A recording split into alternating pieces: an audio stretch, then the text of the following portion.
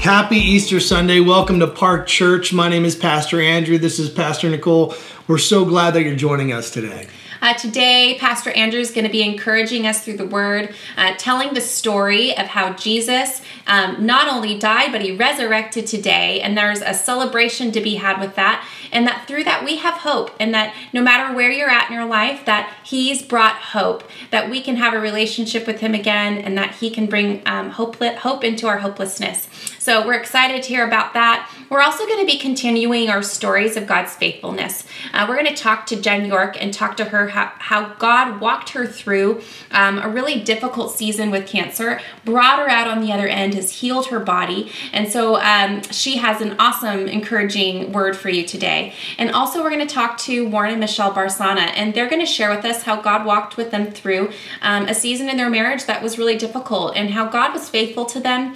And um, we hope that that you leave this time today feeling encouraged that no matter where you're at in your life, that God is faithful and He Amen. is for you and He is with you. Amen. If you'd like to give today to Park Church, you can give online at parkchurchsd.org. Um, just click the giving link, uh, it'll give you directions. If you don't like to give, online. You could also write a check. Uh, our, our, our, address and other information uh, for that is also on that same giving page online. Um, and we know that this is a really interesting Easter Sunday. Normally, everyone's getting dressed up and they're getting ready to meet with friends and family. Um, for us, you know, we would be gathering with our family to eat and to have Easter egg hunts and do things. And we know that that isn't something that we are able to do um, today. So we want to encourage you to not only remember um, the fun things that you have done as a family in the past, but we want to encourage you to create new traditions. What are some things that you can do today to make it special with your family? What are some things that you can do with your kids and extended family? Maybe that's you call your family on um, FaceTime or Zoom and you do an egg hunt together, or you um, sit and um, eat dessert together or dinner together over um, your phone. I know that it's um, not in person and it doesn't take the place, but let's have fun with it. Let's find ways of integrating together if you um, are alone today, I want to encourage you reach out. Find somebody who else, maybe someone else who's alone, and you know that they're not able to be with somebody um, that they love today. Um, reach out, and if you are a family, think about the people in your life who need a friend today, who need to be encouraged, and give them a call. Um, drive by their house and honk your horn with a sign. Um, whatever it is that you want to do to not only make it special for your family, but to remember the other people that are around us who need encouragement today, who need to have their spirits lifted and need to see a familiar face. Well, we're so excited to get in the Word today. We know that God uses the Word to begin to speak to our life and speak to our heart and uh, change us and cause us to look more like Him. And so, Andrew's prepared a message today that's going to encourage us and offer us hope. And so, um, why don't you share that with us and how um, God wants to bring hope to us today on Resurrection Day? All right. Well, thank you everybody for coming out on Easter Sunday. Um, today, we are going to just simply tell the story of Resurrection Day and see where that takes us. If you have your Bibles or if you have your devices, you can turn to Luke chapter 24. We're going to be reading and kind of uh, talking about it as we work through the passage. Verse 1 through verse 12 says this But on the first day of the week, at early dawn, they went to the tomb, taking the spices they had prepared and they found the stone rolled away from the tomb. But when they went in, they did not find the body of the Lord Jesus. Now, I, I just want to, I, I, think this is like a lot of us. We uh, find, we go looking for something specific, and when we get there, we don't find what we're looking for. Mm-hmm. That we're seeking a truth, we're seeking to, to fill that part in our body, in our, in our heart, that this void, mm. to fill it, and, and we just don't find it. And we look, and we look all sorts of places. We look to, to fill it with lifestyle, we look to fill it with a good mm. time, we look to fill it with, uh, with whatever it is, you fill in the blank, and, and we find that we're wanting hmm. at the end of it. And here, these women showed up to the tomb. Their hopes are high to see and, and to care for the one they love for Jesus. And they went there and it was empty. Mm-hmm. I think that speaks to a lot of us. It says, And when they were perplexed about this, behold, two men stood by them in dazzling apparel. And as they were frightened and bowed their faces to the ground, the men said to them, Why do you seek the living among the dead?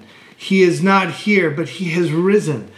Now, I think this is also significant that that as they encountered these these these people in dazzling clothes, these two men, that he says, You're looking in the wrong place.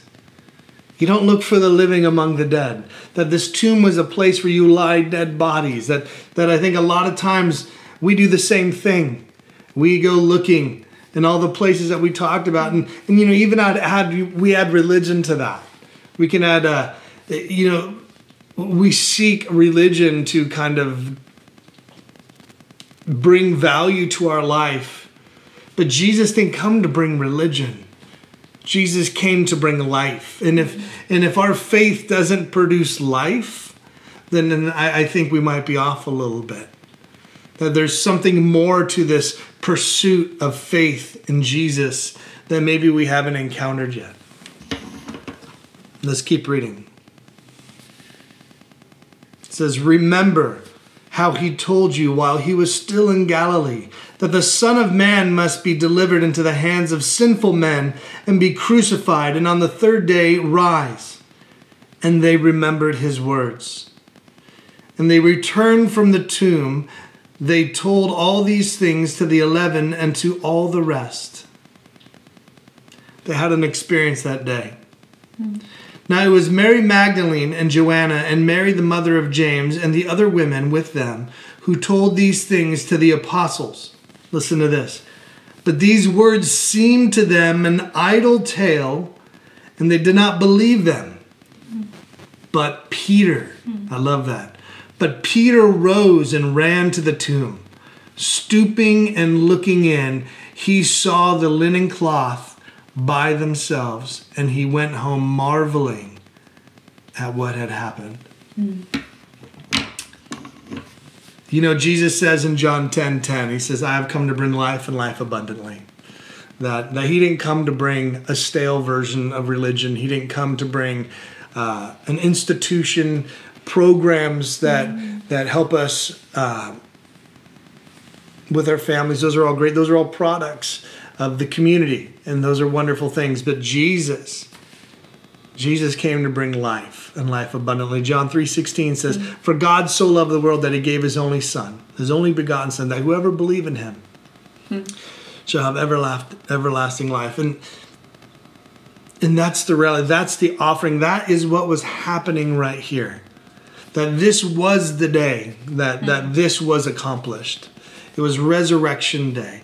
Now, in my reading, I, I observed that there's three people here three different responses um, from people here on resurrection morning and i want to talk about that a little bit. The first one was mm-hmm. was mary magdalene joanna mary the mother of james and the women that were mm-hmm. with them. They were telling a story.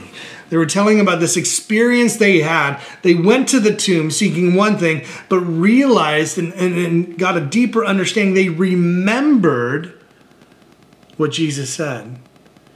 And, and it was almost their perspectives changed. Their sorrows turned to joy. They realized that they weren't just they weren't just going to the wrong place but but they needed to seek jesus because he was alive that you don't find the living in the dead places hmm.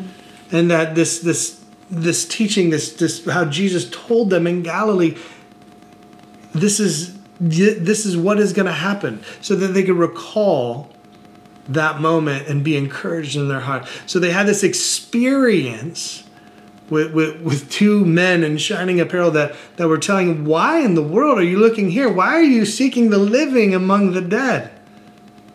You know, I know in my story, it's the reality is, is, uh, is Jesus is still speaking to us today that they had to remember Jesus' words and they recalled and they were encouraged. And, and I think even today, um, his people like when i when i made a decision for jesus when i came to faith there was this moment where i felt this pulling on my heart, and and I believe it was Jesus saying, "Come to me," and and, and I had to respond to that. Yeah. That even today, that He's doing that to you and I. So maybe it's a recognizing this morning and not a remembering that that that as, as your heart might be pulsating, maybe there is something to this Jesus. You know, maybe your mom has made you sit on the couch and watch us broadcast. Mm-hmm. and you're hearing this and you're like, you know, maybe there's something to that. I've tried everything else. Yeah. I've tried to fill that place with so many things, and maybe there's something to that. So the first group is this group that had this experience. They were here telling this tale to some. And the second group, it, says it was it was as they told these things to the apostles of all people. They told these things to the apostles, but these words seemed to them as an idle tale. And they did not believe them. These are the men that, that were following Jesus for three years. And it was an idle tale. How many of us are like that? Yeah. You know, it makes me think of uh, Thomas in the book of John. They call him Doubting Thomas. And hmm. he says, I, I won't believe unless I put my hands in, in his wounds. And then, you know, you, you can read about it, how Jesus actually came and saw Thomas and said, Hey, Thomas, come, stick your fingers in my wrist. And how about stick your finger in my, my rib? And, and, there was this beautiful moment, and then Jesus says, Blessed is he who believes and does not see. Hmm. There's this place, and, and a lot of us can fall in that. We can all be skeptics at times. And the third group we see, we see Peter. Hmm. Peter says this, verse 12 says, But Peter rose and ran to the tomb, stooping and looking in, and he saw the linen cloth by themselves, and he went home marveling at what had happened. Hmm. You know, we're, we're usually one of these three things. We had an experience and we just keep telling the story of, of how God touched our life. Of, you can't believe it. And, and there's always that group of people that's listening and goes, man, that's, that's a tall tale.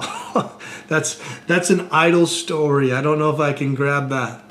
I don't know if I can believe that. I, I need a little bit more than just that to believe. And then there's that third group, like Peter, who ran to the tomb. But when you understand the context of what's happening in Peter's life, days before this, Jesus told Peter, he says, this is before he was taken and, and beaten and hung on the cross. He says, Before the rooster crows, you're going to deny me three times. And Peter's like, I will never deny you. And, and it happened. Imagine the shame, imagine the weight, the burden of the reality of Peter's decisions of his actions that were on on him in that moment as he was just sitting in the reality of his sin of him rejecting Jesus publicly after he followed him for 3 years. I mean imagine what that would have felt like for him as he's sitting here. And now he hears this story of these women who who go and they experience the, these uh, these men in dazzling clothes the angels that and we're saying you're seeking the living among the dead. Remember what Jesus said. And as Jesus, as, as Peter heard this, he I'm sure he was compelled. He's like, oh my gosh, I got to see this for myself. There's so much I need to talk to him about. There's so much that I need to make right. Yeah. And he ran to the tomb and he and he looked in and he saw it and then he went away marveling. And it's and it's beautiful to see later in the gospel how Peter, uh, how Jesus and Peter reconnected, how Je- Jesus was so gracious Yeah. to Peter and restored him. It's amazing. So today, I think the message is remember. Or maybe even for some of us is recognize what Jesus said. Hmm. That no matter what any of these people encountered, whether you're the person with the encounter, whether you're the person that's sitting here as a skeptic, as the doubter, or maybe you're the one that had the burden and you need to go make it right and you responded. No matter which whichever one you're in any of those perspectives will not determine the reality of what happened that day. John 16 33 says this i have said these things to you that in me you may have peace. In the world you will have tribulation but take heart i have overcome the world. Mm. What's encouraging about that is no matter if you were the person with the experience, no matter if you were the person that was doubting or you were the person that was responding, all those things aren't speaking to the reality of what's happening. That's that's our response and our perspective to what is happening. The reality is is this is the moment that he overcame the world. This is the moment where he reconciled humanity back to the father. This is the moment where he conquered sin and death for all of us. Mm. And we need to recognize it we need to respond to that message so today I want us to take this Easter Sunday, whether you've been going and following the Lord your whole life, or this is brand new to you, or maybe you're the skeptic and going, I've, I've never believed in any of this stuff. Hmm. I want you to listen to what's happening right here.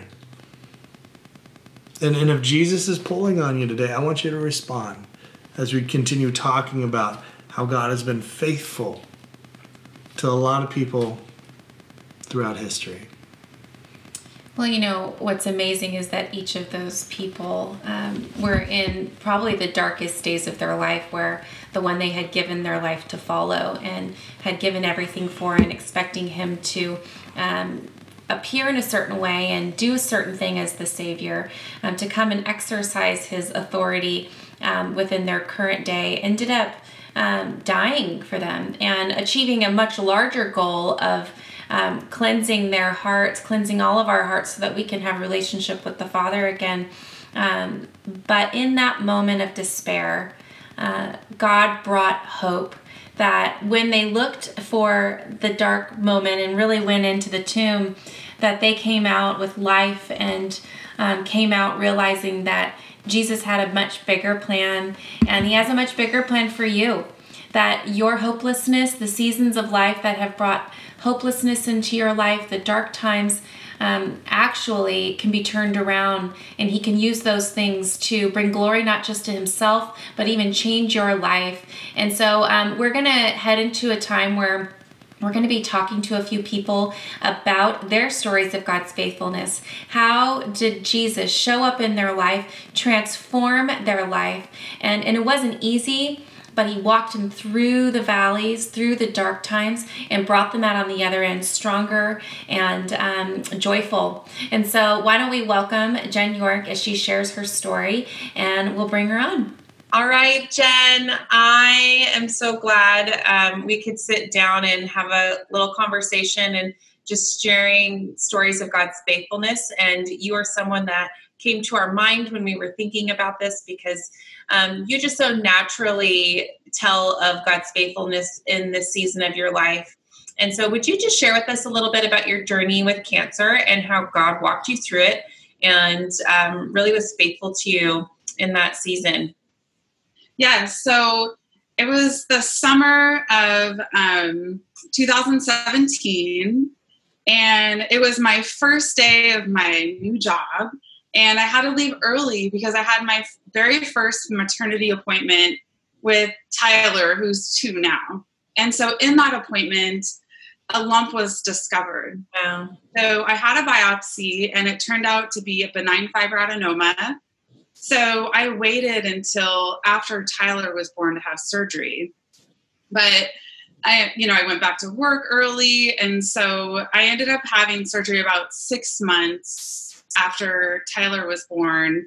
And that, um, so it was the summer of 2018. And from May to July, when I had the surgery, um, the tumor had doubled in size from 2.5 to seven inches. So it grew very rapidly. I didn't have any idea that it had grown that big. So after I woke up from surgery, um, they informed me that that was not benign. That it was certainly, you know, cancer. They would test for it. And so the following week, I was delivered the news that it was um, a highly malignant cancer. And I was terrified. So um, I just, I fell to my knees and I prayed and I said, please God, um, mm. I pray that this has not spread throughout my body. I was, I was scared. And I just said, you know, I I've already dedicated my life to you, but I dedicate my life to you and I just, I pray. And so luckily the CT scan was clear. It had not spread, but I was then prescribed a very aggressive chemotherapy and it involved five day hospital stays, hooked up to a port in the hospital every 21 days for six to 11 cycles. Wow. And there was no double no double blind studies, and they didn't know if it would help me or not. But it was just a very aggressive form of cancer. I'm young with children, and they wanted me to try something. And so this was a huge decision for me to make because I, um, you know, it may or may not work. It could have reduced my immune system and maybe made the cancer, you know, increase the chances of it coming back. Um, I, you know, I could have organ permanent organ damage, leukemia. Um, it was such a big decision. So I, you know, my doctor reached out to eight sarcoma experts across the country and asked about my case. And it came back 50 50. It came back four yes, four no. Wow. So all Yeah. weekend I prayed and just prayed about what to do. And at the end of the weekend, I clearly heard a voice that said, um, You don't have enough information to make this decision yet. And so ultimately, for the next almost year of my life, I was sent on a journey um, to see a variety of doctors across the country. And almost a year um, later, I finally arrived upon an amazing treatment plan if it's needed in the future. And Yeah. so essentially, there was like 40 pages of testing done. And all those results were compared with 4.5 million different treatment combinations. And a personalized cancer therapy was developed, um, targeted specifically. Um, and so, you know, I also saw a variety of doctors at UCSD, all kinds of integrative medicine, nutrition, um, mindfulness, and I just went on this incredible journey. And you know, it's been um, almost a couple of years, and I'm healthy, and the Yeah. whole time I felt guided by God, and so it's just this incredible journey that I, you know, that I was sent on, and um, I feel like God's shown me so much, and I have so much to share, and so, um, yeah, I'm very, very thankful. Yes, and Jen, it's just you know we've we've kind of been touching in through this whole journey for you and your family, and I know that it's been incredibly scary at some points, and um, at the same time, there's been this peace over you and a peace over your family that you guys have navigated through these um, tricky situations with big question marks at the end and God's just been so faithful to you guys and even bringing you through with peace. And I think that's such a testimony of God's goodness in the midst of difficulty that He proves Himself so faithful. And I love seeing that in you and on you and the joy that you've had through this season.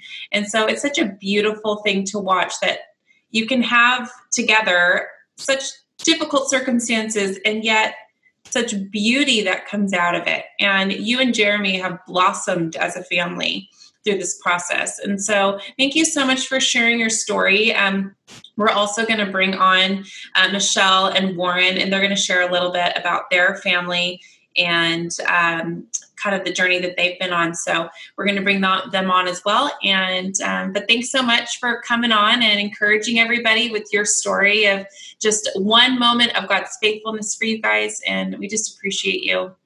So, welcome, uh, Warren Michelle. I'm so glad that you're joining us today in the conversation. Uh, so, Warren and Michelle have a story they want to tell of how God brought hope into a hopeless situation in their marriage. And uh, I'm so excited. I don't think Yeah. I've even heard the, the full story. I've heard bits and pieces. Um, but I'm excited to hear just, just what God actually did in and through you guys. yeah not not many people have heard the full story just we were i think we were just trying to cover you know each other get let that that love kind of cover the whole situation um well, I, I don't I don't think we want to go into like the details of what led up to it, but we in October we decided to separate and Warren moved out of the house and we were, you know, meeting with our pastoral leadership at that time and um, you know going into counseling figuring things out and it was it was a long process of of uh yeah just fig- figuring out what we needed to do in our marriage what we need to needed to do personally as well. Um did you want to say what you went through? It was probably less easy for him than it was for me. Um, the the awakening reality for for my part um, when God basically um, uh, point the finger at me, the very very first first thing that God you know says you need to repent, mm-hmm. and that was the very first thing I ever heard from God, plain and clear. Uh, you want your marriage to be restored? It begins with true repentance of your heart. Mm-hmm. And without that, you know, I mean, just like anything else, you could pay uh, a marriage seminar $700 a weekend or uh, a sister or brother in the Lord with a simple advice. If there's no true repentance, none of those will work. Yeah. So um, it began with first repentance. That was one step. The rest is basically God says, we'll work it out. Mm-hmm. But I need for you to repent first and foremost. So that's where that one step started, and that's all it takes. Well, yeah, that's that. That's the beginning. Um, the reality in the situation of, of where we're where we were at was uh, working out that one step. One step is that yeah, you repent, and now it takes months and months and months, sometimes years of work. You know, we're into what's April now. We're into the sixth month of of uh, of this, but the the steps leading up to it of of uh, hope in a hopeless situation. Um, I was completely without hope, 100% without hope that our marriage would be restored. I was starting to gather information on uh, not just passing legal separation, going right to the big D. And um, it was it was heart wrenching and breaking, and it was the worst worst decisions in that I could ever even start to work out in my brain. Um, just because of that working it out process, it's it's difficult when it's involving human beings. And uh, it was in January um, that I was speaking to uh, some people, uh, just asking for advice on um, what it could look like of uh, ending marriage and um, god's that's when god started speaking to you and really changing uh, changing the thinking. We didn't even talk for like nothing nothing personal. We didn't talk anything about us. We talked only about the kids and what the kids needed. And then we had one night where we just laid it all out on the table and he just poured his heart out and said exactly what he was going through and exactly what his intentions were. And and it was uh, i had two i had two things that i asked god for and they were like my last resort. Uh, I, I just said you know what god? I need to i need to hear two things from him. I need him to admit a certain thing and i need him to see his own value and and start speaking about his own value. Is when you're when you value yourself when you consider yourself worth worthy of love and and having a healthy relationship you begin to treat other people around you differently. And in that night he mentioned it back to back those two things. And they were so like they're just they're not typical conversation where this is what we're going to start talking about. And he mentioned it back to back.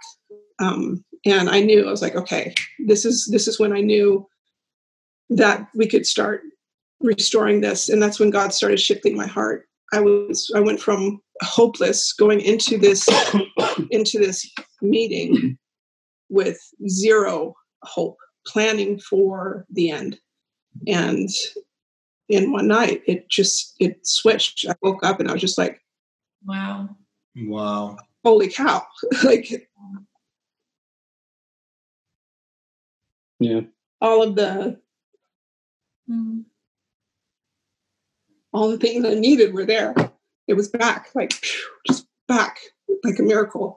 So you take a miracle like that. It's while it is a one step thing where it's like where you know God shifted something. Uh, walking out the responsibility of that miracle is another story, and that's something that we get to do every day Yeah. for the rest of our lives.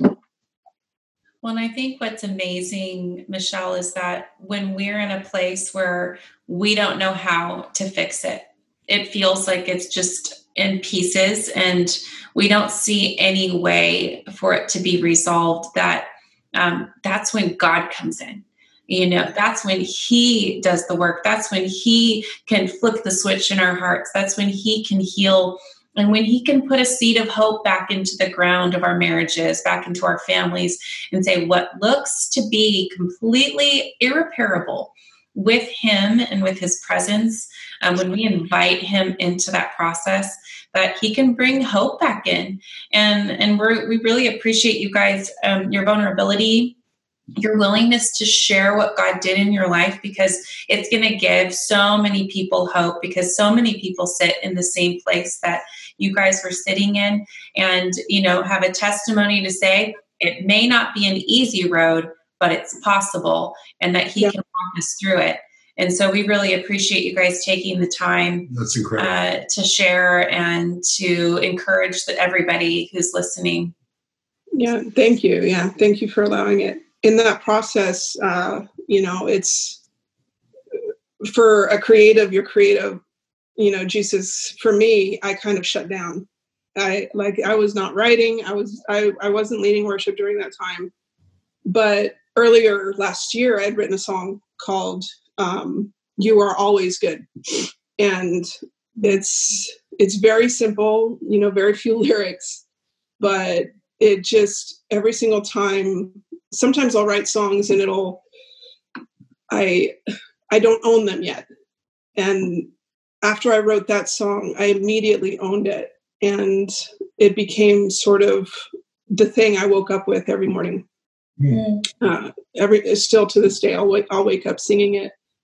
And it's it's just something that yeah it's something that i live by now because it has it has nothing to do with what i can do to earn any kind of goodness to earn any kind of acceptance or any kind of extra love or whatever. It's it's just completely about you know professing his goodness through every situation because he is he's always good. He's always releasing his goodness.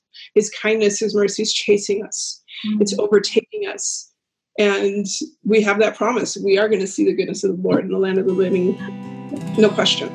I know you guys took some time this week and you prepared a, a recording of that song. So why don't we take some time and just worship together as Warren and Michelle actually uh, play that for us this Easter Sunday and, uh, and get blessed. All right, here it is.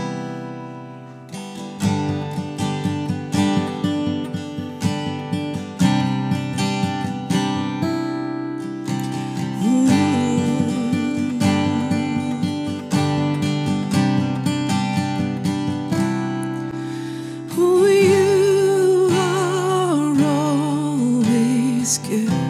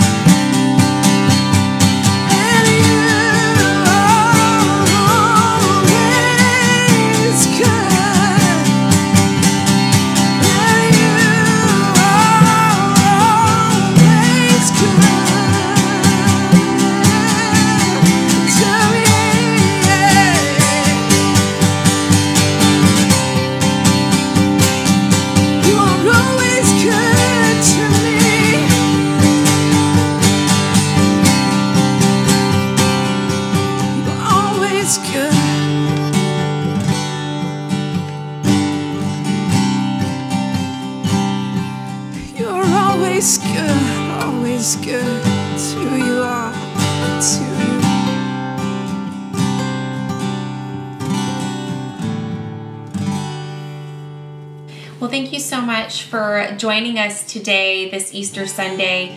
Um, we hope that the Holy Spirit is speaking to your heart this morning, encouraging you that there is no um, pit too deep.